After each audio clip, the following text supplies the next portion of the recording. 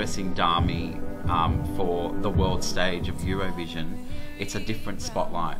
It's the whole world's eyes are on her. And traditionally, I am known for dressing brides and, and celebrities for red carpets and so on. So it's going to be an incredible experience for her and for us as a brand to, set, to have our gown showcased in, on that platform is incredible. So the brief was obviously dramatic. So um, I thought I took on the brief and then came back with uh, fabric samples and worked with the guys to and the stylist to create the final look. We went through several samples and I ended up finding this incredible um, Italian organza with a metallic piping through it, which I thought would be incredible on stage to really highlight the gown and highlight Dami for her performance. So I think it, um, the texture in the fabric was a real winner. So the minute we saw that, it was it was what started the process of the gown.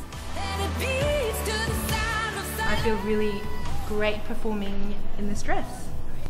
I think the dress really shows the vulnerability, uh, which is what the song is about, but also really empowers you and um, since I'm representing Australia at Eurovision, I thought it was important that I wear something designed by an Australian designer. You know, the dress, the outfit is probably one of the most important aspects of my performance at Eurovision. I'm so lucky to be working with uh, Stephen Khalil. He is an amazing designer. I've always watched the Eurovision from, from a child, so it's a great honour to be part of it and be involved, and it's great to dress Dami and work with her she's been really incredible as well. It's a great honour to, to just be part of it and, and be involved.